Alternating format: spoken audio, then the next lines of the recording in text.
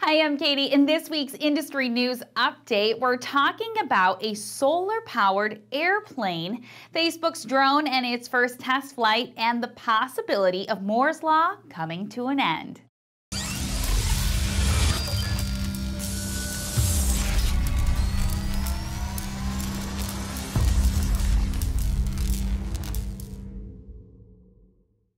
The Solar Impulse 2, a completely solar powered airplane, touched down last month in Abu Dhabi to complete its one year trip around the globe. The plane traveled 26,000 miles, crossing four continents, three seas, and two oceans, all the while setting 19 official aviation records, including the world's longest nonstop solo flight. Using only energy from the sun, the plane traveled for four days, 21 hours, and 52 minutes to get from Japan to Hawaii. Solar Impulse 2 can be recognized by its wacky dimensions. Its wingspan is longer than a Boeing 747, but it only weighs 5,000 pounds. Powered by over 17,000 solar cells, the plane's average flight speed is just 43 miles per hour. Now, ABB was a major financial contributor to the project and helped provide dedicated engineers to help with certain electrical solutions.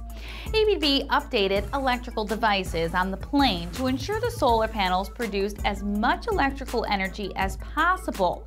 They worked on the cockpit battery to ensure the pilot control systems were reliable, and they helped manage the electrical system for Solar Impulse's mobile hangar.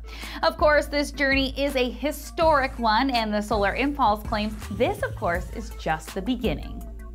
In another bit of solar powered flight news, Facebook recently announced that its Aquila aircraft completed its first test flight in Arizona.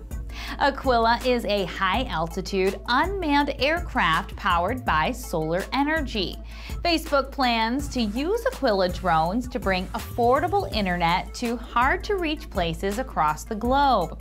Aquila will be able to circle a region up to 60 miles in diameter, beaming connectivity to Earth from an altitude of 60,000 feet using lasers and wave systems. The drone's wingspan is larger than a Boeing 737 and it weighs just 1,000 pounds. It will fly at speeds up to 80 miles per hour, and because it just uses 5,000 watts of power to fly at the cruising altitude of 60,000 feet, it will be able to stay in the air for 90 days at a time. The full-scale testing stages have only just begun, but Facebook plans to bring aviation records as well, including the record for the longest unmanned aircraft flight.